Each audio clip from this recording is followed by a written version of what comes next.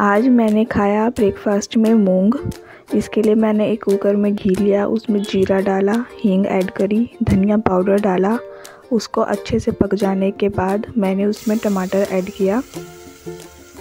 और उसके बाद मैंने उसमें डाला नमक, हल्दी पाउडर इस तरीके से खाने पर मूंग बहुत ही अच्छी लगती है और मैं इसी तरीके से खाना पसंद करती हूँ। और उसके बाद मैंने इसमें मूंग ऐड करी, जो कि रात को मैंने भिगो कर रखी थी।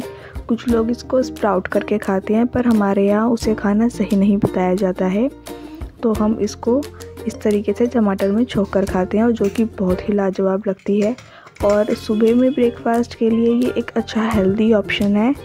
पैक पैकेट वाला फ़ूड ब्रेकफास्ट में खाना मुझे सही नहीं लगता है तो मैं कोशिश करती हूँ कि ब्रेकफास्ट में मैं कुछ घर में ही बना कर खाऊँ।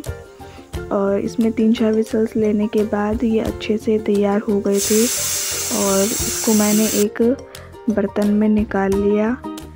सी, ये कितना यम्मी लग रहा है। और इसके बाद फिर मैंने इसमें नींबू ऐड करा। आप चाहें तो इसमें आप धनिया भी ऐड कर सकते हैं। धनिया मेरे पास नहीं था तो मैं इसमें ऐड नहीं कर पाई।